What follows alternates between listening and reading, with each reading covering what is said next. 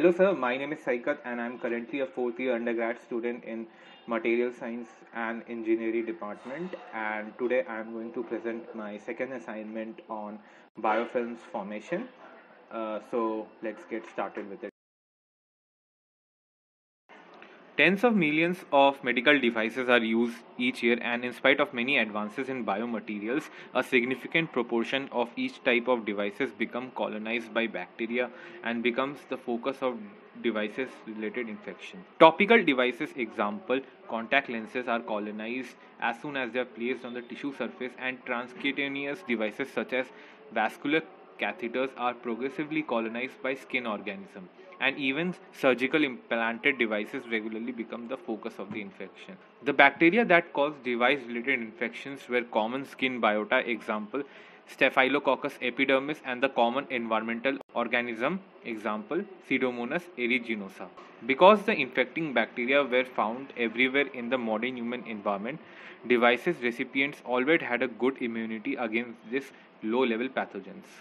It was the frontline medical specialists who gradually pursued medical microbiologists and infectious disease specialists that device related infection differed from acute bacterial infection in several important aspects.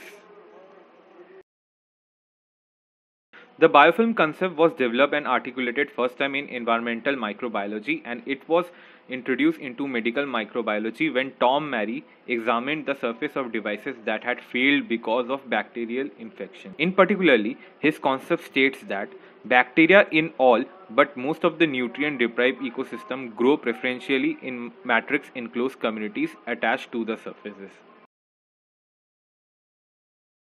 The first stage of biofilm formation occurs when a specific environmental signal induces a genetic program in a free living planktonic cells. As the cell enters into the biofilm formation, they no longer maintain their flagella and instead may move along the surfaces using a twitching motility. As more and more cell binds to the surface and divide, they form microcolonies and can begin to communicate with each other by sending and receiving chemical signals in a process called quorum sensing. quorum sensing in Pseudomonas aeruginosa play a role in the maturation of the biofilm into complex three-dimensional form such as column and streamers uh, forming channels through which nutrients flow sessile cell in a biofilm chemically talk to each other in order to build microcolonies. The strategy most commonly used in the current antibacterial biomaterial is the incorporation of conventional antibiotics into the material with the objective of killing incoming planktonic cell before they can adhere and initiate biofilm and this can be accomplished by three general strategies. First, systematic antibiotic therapy that produces bactericidal concentration in the body fluids in the operative field.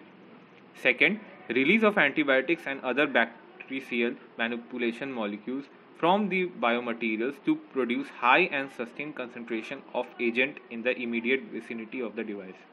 Third, irrigation and other techniques that deliver antibiotics to the biomaterial surfaces after the device is installed before the operative wound is closed.